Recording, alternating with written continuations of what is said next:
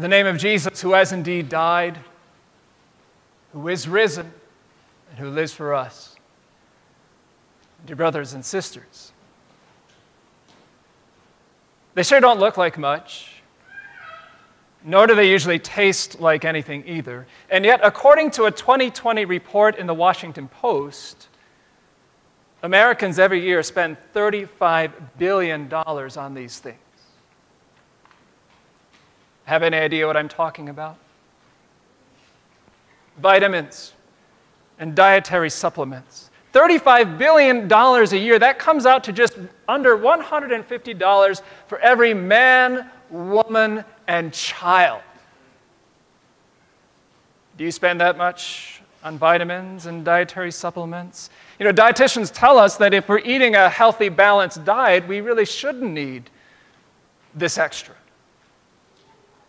However, there is a certain vitamin that everyone living in places like Canada or Iceland or Greenland should consider taking. Can you guess what vitamin that would be? Vitamin D, the sunshine pill, absolutely. Because one major source of vitamin D is the sunshine, and those long winters up in Canada sometimes make it a little difficult to get outside and to absorb the sunshine that you need. Because vitamin D helps our body absorb calcium and build healthy bones and teeth. So when I lived in Canada, I liked taking a vitamin D supplement. I liked the certainty of knowing that I had gotten my daily dose of vitamin D, even if I had been cooped up inside for days on end. I don't suppose we who live here in Arizona need to take vitamin D supplements. We get plenty of sunshine. But there is another supplement that we all need, and that's vitamin F. Never heard of vitamin F before? Nor have many dietitians. And yet, without this vitamin, there is no eternal life. I'm using vitamin F in this sermon to refer to forgiveness. When Jesus died on the cross, he won forgiveness for every man, woman, and child. And yet there are times we wonder is that forgiveness really for me? And so God reaches down and he gives us a certain assurance that we have forgiveness through the sacrament of Holy Communion, which is really nothing other than vitamin F. In answering the question, what blessing do we receive through the eating and drinking in Holy Communion? Martin Luther stated, We receive forgiveness of sins, life, and salvation. Where did Luther get that idea from? From Jesus, who said about the wine of communion, This is my blood of the covenant, which is poured out for many for the forgiveness of sins. This morning, together, we want to appreciate all over again the wonderful blessing God gives to us in Holy Communion, nothing less than vitamin F. Listen to the words of our text as it's recorded in Isaiah chapter 6. In the year that King Uzziah died, I saw the Lord high and exalted, seated on a throne, and the train of his robe filled the temple. Above him were seraphim, each with six wings. With two wings, they covered their faces. With two, they covered their feet. And with two, they were flying. And they were calling to one another Holy, holy, holy is the Lord Almighty. The whole earth is full of his glory. At the sound of their voices, the doorposts and thresholds shook, and the temple was filled with smoke. Woe to me, I cried. I am ruined for I am a man of unclean lips, and I live among a people of unclean lips. And my eyes have seen the King, the Lord Almighty. Then one of the seraphim flew to me with a live coal in his hand, which he had taken with tongs from the altar. With it, he touched my mouth and said, See, this has touched your lips. Your guilt is taken away, and your sin atoned for. Then I heard the voice of the Lord saying, Whom shall I send? And who will go for us? And I said, Here am I. Send me. So far, our text. What would you have thought this morning if, as you were approaching the church, you smelled smoke? You looked all around you thinking that maybe it's an early forest fire, but you didn't see any flames or smoke coming from the trees. But then, to your shock, as you turned into the church parking lot, you saw that the smoke was pouring out of this building. But before you could reach for your phone to dial 911, as if we'd need to do that since the fire station's right down the road, you never know. Before you had a chance to do that, you saw something else that was extraordinary. God Himself seated on a throne high above the church, blocking out the view of Agassiz and Fremont. And floating beside Him and above Him were angels called seraphim that had six wings each. And they were calling to one another, Holy, holy, holy is the Lord Almighty. The whole earth is full of His glory. They were saying this so loudly that you noticed that the whole church was shaking, the walls as if they were paper plates quivering in the spring wind. That was the kind of sight that the prophet Isaiah received in our text. What was his reaction? Whoa! No, not the kind of woe that Michael says when he's ripping down a, a course on his mountain bike, as in, wow, this is awesome, dude. Rather, it was a cry of fright Woe is me, I am ruined, for I am a man of unclean lips, and my eyes have seen the King, the Lord Almighty. Like a career criminal, who always gets nervous whenever he sees a uniformed officer because he's reminded of his crimes, the one that he's already served time for, the ones that he hasn't been caught for yet. And he's nervous. The prophet Isaiah was more than nervous, he was undone because he confessed, I'm a man of unclean lips, and he was standing in the presence of a holy God. Can we not echo Isaiah's confession? Are we not also people of unclean lips? Lips that were made to praise God, instead, question what He's up to in our lives. Lips that are made to encourage others, instead, sneer at their ideas. Lips that should defend reputation instead delight in spreading gossip. Lips that should say no thank you when offered another glass of wine that would put us over the edge instead gladly accept the gift. Isn't it amazing how one body part can be guilty of so many sins? To make matters worse, the prophet Isaiah was standing before God all by himself. There were no other sinners that he could point to and say, Lord, I may have unclean lips, but he's got unclean lips and hands. That's how it will be on Judgment Day for us. For sure, we will be surrounded by all of humanity who ever lived. But when we stand before God, God will have only eyes for us. We will not have the ability to point to others and to say, at least I'm not like. God will say, don't worry about them. I want you to compare yourself, but you're to compare yourself to me. Be holy as I, the Lord your God, am holy. What did the sinful Isaiah and the sinful people that have gathered here in front of deserve to receive from that God? Well, just as fire must burn up a finger that's been thrust into its flame, Isaiah and you and I should be burned by God's anger at our sins And so, what happened next in Isaiah's vision seems totally appropriate. One of the six winged angels swooped down and with tongs grabbed a live hot coal from the altar. And he held it up to Isaiah's lips. It looks like one of those torture scenes from a movie where the interrogator is trying to get his victim to confess or else. Only that coal was not meant to harm Isaiah, but to heal him. When that coal touched his lips, they were sterilized.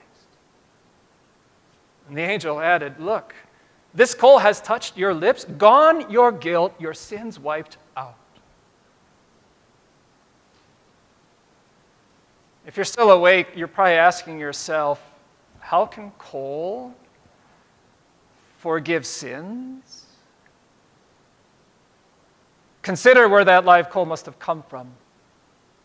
It must have been the altar of burnt offering, the place where every day the priests would sacrifice a lamb at least and burn it up before the Lord. That lamb was offered as a sacrifice in place of the sinners who should have been burned up on that altar a lamb which foreshadowed the sacrifice Jesus would make for our sins. Being touched with that coal from the altar of burnt offering would be like being touched with a section of the cross in which Jesus died. Could you imagine if we owned the original cross on which Jesus died? Not only would people come to Flagstaff to go to Snowbowl and then drive on their way to Grand Canyon, they would stop here. And they would pay good money to Miss Tammy to be able to be led into church and to see the cross. They would even pay her extra if she would let them touch and kiss the cross because, well, there's got to be some blessing from that, right? In Holy Communion, God does better. He Himself touches our lips not with a section of the cross, but with a sacrifice from the cross. Jesus Himself. And so it is easy because we celebrate communion twice a month to look at these wafers and the wine and to think that this is just part of our tradition and custom and yet we ought to come in here with that same awe that we're willing to pay someone to receive the sacrament, to receive Jesus through the bread and through the wine. Here's something else that's neat about communion that it makes it even better than the vision that Isaiah received. Isaiah saw that vision once. And his ministry lasted as long as 60 years, six zero years. I wonder if there wasn't a time later on that he thought to himself, Did I really see God seated on a throne high above the temple? Did I really hear his holy angels singing so loudly that I could feel the voice inside of me? Or was I just dreaming that? Was I really forgiven? Or is that my wishful thinking? We can feel the same way too, can't we? We hear every week Jesus died on the cross for all people and for you, and yet sometimes we wonder, especially when we think back to our youthful indiscretions. And guilt slams into us like a tsunami loosened by a distant tremor. And then when we thought we'd forgotten about it and gotten over it, it washes back over us, dragging us back down into the depths. How do you wriggle free from guilt's grasp? You listen to the words of Jesus in Holy Communion eat, drink. My body, my blood, given for you. You see, while there is a problem of taking too much vitamin D, apparently can cause kidney stones. There isn't that problem with Holy Communion and vitamin F. Jesus invites us to come often to receive the sacrament.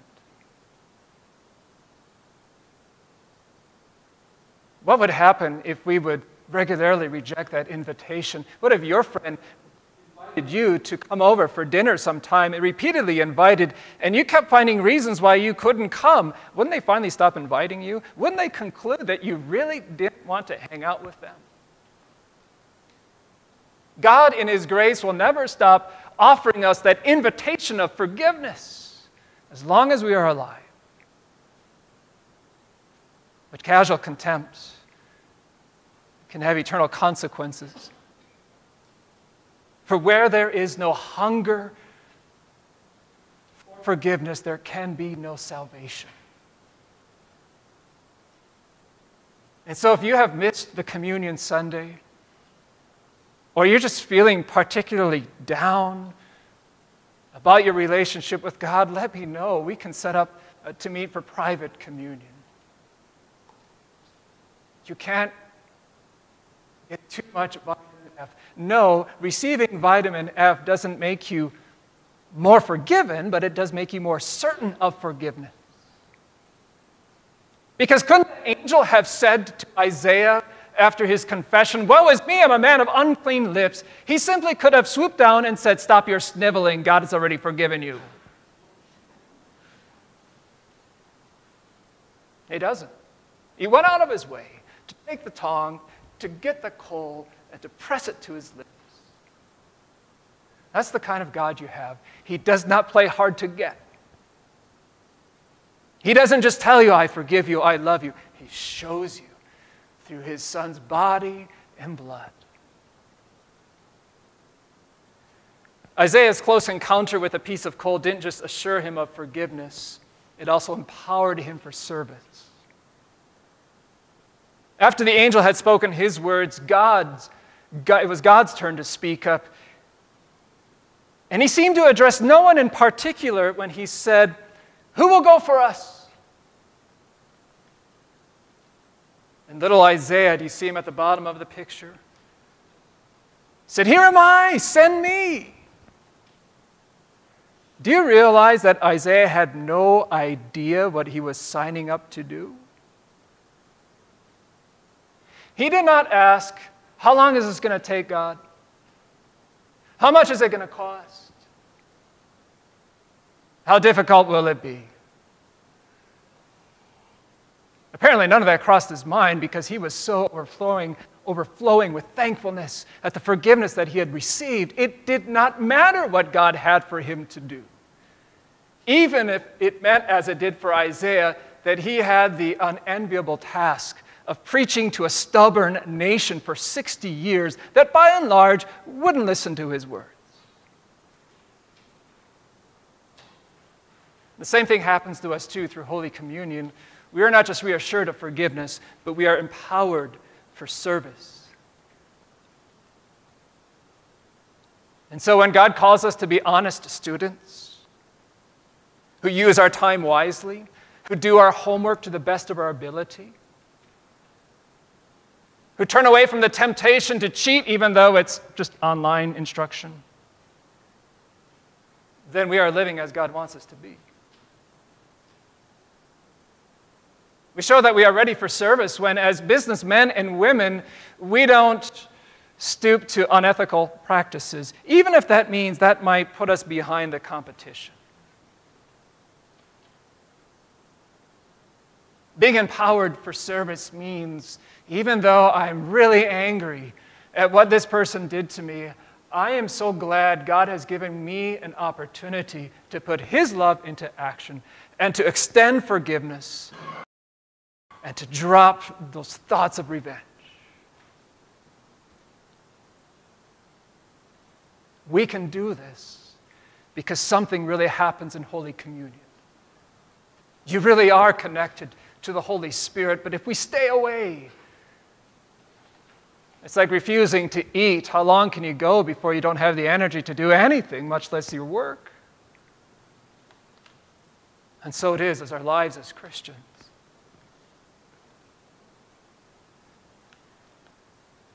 You know, scientists have said that vitamin D is not just good for helping your body absorb calcium, they say that it can stave off certain cancers and even help the heart.